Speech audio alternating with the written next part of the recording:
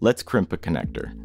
For these JST XH pins, I'm using 24 gauge wire, along with wire strippers and a pair of Engineer Universal Crimping Pliers.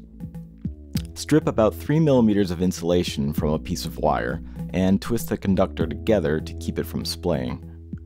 Each connector has a long set of arms to grip the wire insulation and a shorter pair to grip the wire conductor. Place a connector in the crimper's 1.6mm slot with the longer arms still outside. Insert the wire right up to the insulation so that we're only crimping the conductor. And squeeze firmly. Check to make sure the connector has a good grip on the wire. Now place the larger collar arms inside the crimper's 1.9mm slot. Then give it a strong squeeze. Check again to make sure it's all secure, and you're good to go.